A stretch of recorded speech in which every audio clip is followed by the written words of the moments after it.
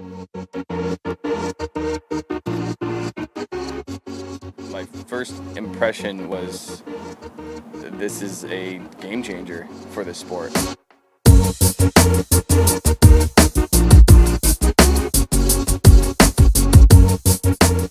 Yeah, I never imagined the torque compensation work like that.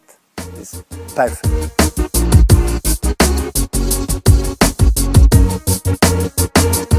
Every paramotor has torque. Uh, you you can't get rid of it. This is physics. Simply the rotating prop makes the whole paramotor with the pilot turn to the other side, and uh, this makes the glider turn as well.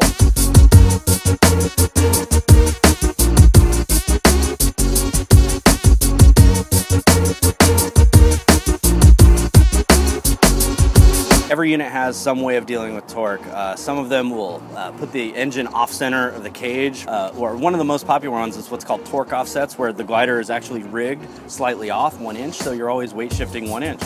Um, while that was probably the best one before uh, dynamic torque compensation, still wasn't quite as intuitive. And the reason why is because at idle, you're always weight shifting one inch, so you're always turning left just a little bit. Uh, at full throttle, you're always turning right just a little bit because of the torque of the engine, and you always had to weight shift a little bit to deal with it. And then in that sweet spot, at kind of cruise RPM, it was pretty good, you know.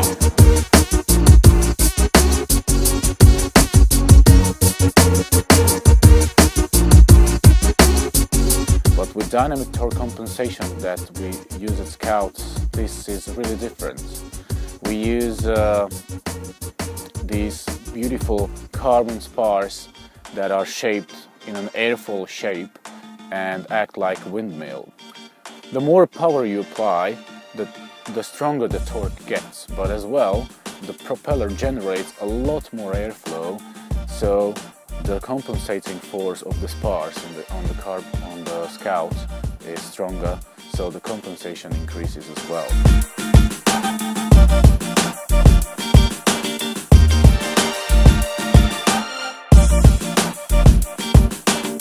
Reason it's called dynamic torque compensation is because it actually does give a different level of compensation given how much throttle you're giving. Basically what it does is it opens up a much wider sweet spot in the throttle range where at most throttle settings you just have to use a little bit of weight shift and maybe a little bit of brake. Full power climb out, you know, there's that fleeting moment where it kind of torques for a second and you weight shift kind of hard, but as soon as it settles into that RPM and that climb, you could just sit there and steer. You can take your hands off the brakes if you want to, though it's not, you know, really recommended.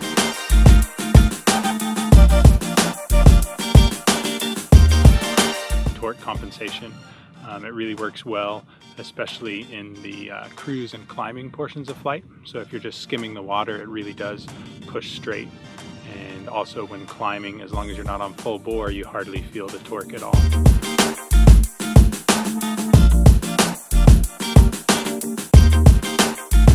Previous units that I've flown, you have to weight shift extremely one side, left or right, to compensate for that torque on, on full climb out.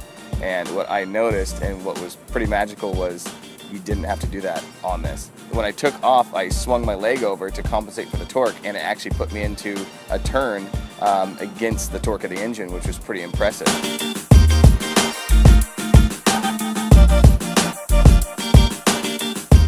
First time I actually got to fly one, Shane from Team Fly Halo let me fly his, and I flew it with my acro glider, and as soon as my feet left the ground, I was blown away.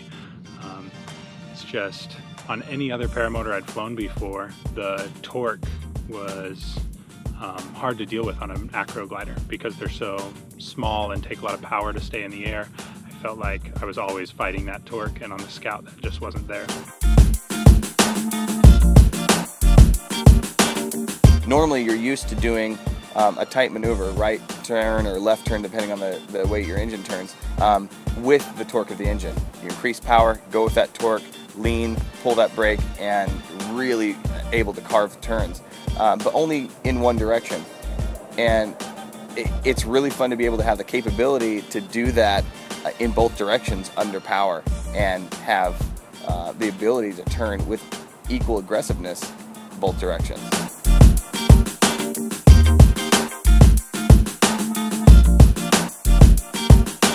I was coming off of a left-hand torquing, very big, torquey, heavy engine.